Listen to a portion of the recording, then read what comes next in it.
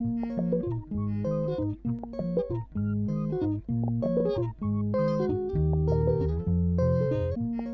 Hi, I'm Rudy Millard. I'm reporting for 411 Mix TV and Guide to Bristol on Bristol Fashion Week.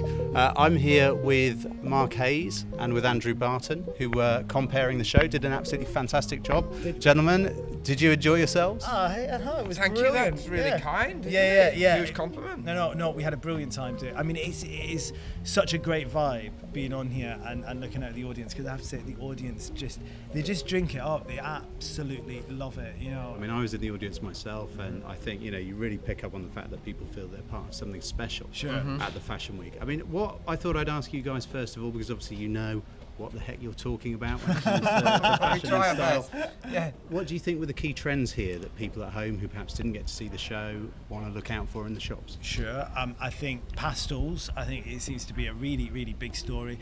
Um, I, you know, I mentioned before that you know pastels is always a big story in spring summer, but so many of the big catwalk shows went and showed all pastel collections. I mm. was like, this is going to be massive, and it really is. But I mean, you know, people are going to be scared of that. There's no getting away from it. The fact that people do love to wear darker colours because they tend to be more flattering, but you can always wear a bit of pastel with some of the darker shades, whether it's charcoal greys, navies. They're always chocolate trying to get guys to wear a bit more pastel Rudy, colours, aren't you're they? even pulling a bit of pastel off bit of yourself with your I, dark I have suit. no fear of the pastel. No, absolutely. I- I it suits you, sir. So- yes. Uh, not, not, not, not quite on the inside. Yeah, If I was wearing a different jacket, you might see something else. Uh, one thing I noticed, and uh, I think you guys picked up on the 20s stuff that Yeah. was coming out from, uh, I think it was Marks and Spencer's. Yep, that- that yeah, were uh-huh. Putting the 20s collection together. Absolutely. But it seemed to me that if there was one overall theme for the show, I mean, it was pretty much 80s stuff. And I mean, I think almost everyone had Hmm. elements of 80s fashion in the collections they were putting together.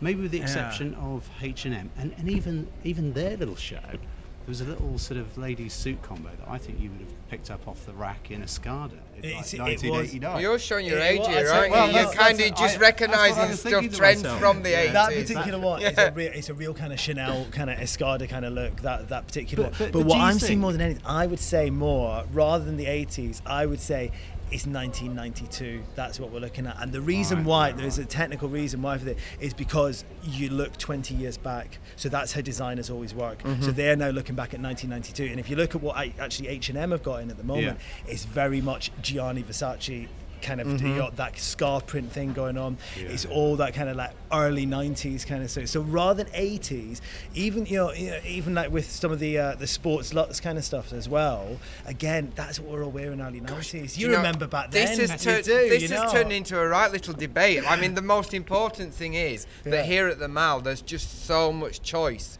for every shape and size and for every age group. Mm. And whether you want something really relaxed or you want something a bit more formal, the shops here at the Mall really kind of carry a great selection Yeah. of goods. Oh, completely. And I mean, would you say, I mean, having had a look around, as you, as you pointed out, I mean, the people here in the audience today, absolutely stylish Yeah, to, to, to a looked T, great. looking amazing. It's a day out. It you spotted really any is. Fashion disasters there? Oh, you always spot. one or. Here's the odd one. Yeah, That's all right. absolutely. That's why they we come try here. not to My kind good of focus on those.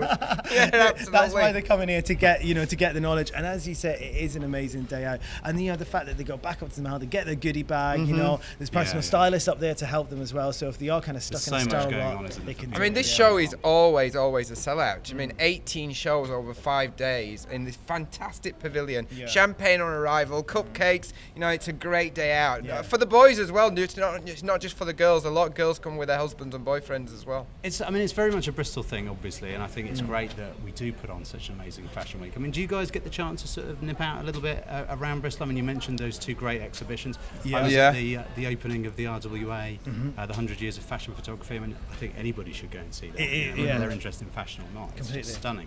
But I mean, do you guys get to nip around and sort of see what's going on in the city? We, we do, and I mean, I, and they're, they're full on days, but you know, Bristol has got a fantastic reputation of being kind of an artistic and cultural hmm. city as well. It's a great university city, so there's a really good vibe here We've as been well. getting out and about. We're both actually training for the marathon at the moment. So Yeah, we're definitely yeah. out and I about. went, I went out running the other day too, and, and went across the downs, and never Beautiful. realised at the end of the downs is this amazing cliff and this drop mm-hmm. that into into the river. It, it was you know stunning, and and also I'm a big fan of Rajpoot, which is is my favourite Indian restaurant in the world. We usually go on There Saturday go. night, don't we, to celebrate That's kind of almost the end of the shows. But I tell you what, it's that thing as well. Both of us kind of work at London Mm. Fashion Week as well, and being here at Bristol Fashion Week is just always a high for us, isn't It it? is, and I think something that you should remember, you know, in, in Bristol is the fact, you know, people will say to, oh, what is this like a tour that you do? And I'm like, Mm. no, it's not like a tour.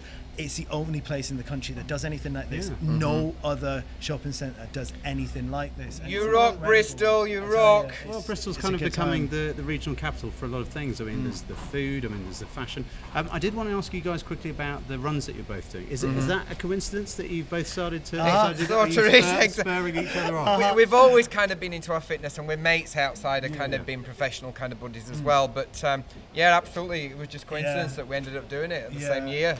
It's, uh, it's, it's, it's, it's been fun. I'm enjoying it. I've got to be honest.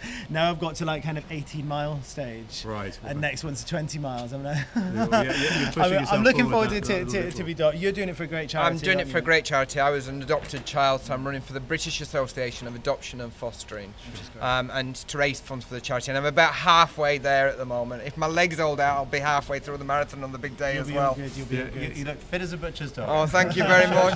I'm sure, Thank sure you'll be able to do it. Listen, thanks so much for your time. Thanks for the presentation you did on the floor. It was really, really good. And I wish you both a lot of luck in your runs. Thank you Pleasure, so much. thank you. Thank you.